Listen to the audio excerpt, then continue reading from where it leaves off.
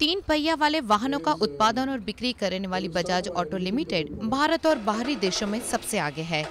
लेकिन एक और बढ़ते पेट्रोल और सीएमजी के दाम और बढ़ती स्पर्धा को मद्देनजर रखते हुए कंपनी नया मॉडल आरी कॉम्पैक्ट लेकर बाज़ार में उतर रही है। कंपनी का दावा है कि यह अपग्रेडेड मॉडल 10 फ़ीसद ज़्यादा माइलेज देगा। साथ ही पावरफुल इंजन और कम मेंटेनेंस रहेगा। 100 परसेंट।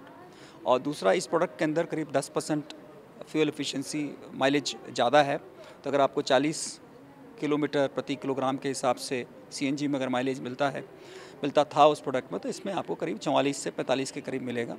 प्लस इस प्रोडक्ट के अंदर एर्गोनॉमिक्स इंप्रूव किए गए हैं, जिससे कि जो ड्राइवर है, वो क्रैम्प फीलिंग नहीं करेगा और वो काफ़ी लंबे समय तक गाड़ी को चला सकता है।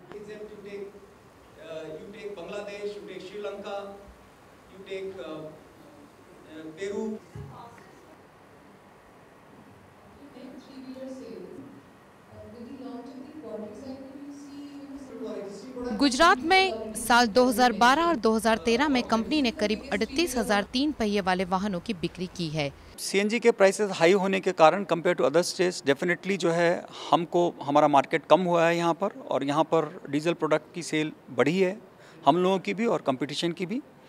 और हम समझते हैं कि सिटी के लिए या सिटी के आउटस्कट्स के लिए ठीक नहीं है, क्योंकि डीजल प्रोडक्ट्स जो हैं जनरली पोल्यूटिंग होते हैं। लेकिन कंपनी का मानना है कि देश के बाकी हिस्सों की तुलना में गुजरात में बढ़ रहे सीएनजी के दामों का असर बिक्री में दिखाई पड़ रहा है। इसी वजह से पिछले साल गुजरात में करीब 25 से 30 फ़ीसदी बजाज आरी की बिक्री कम हुई।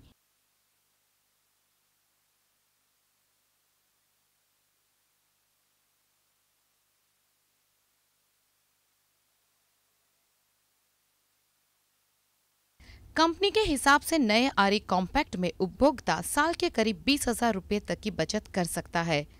लेकिन देखना यह है कि मंदी के माहौल में ये नया मॉडल कितना कारगर साबित होता है। नियति मेहता, अहमदाबाद, जान दुनिया। Principles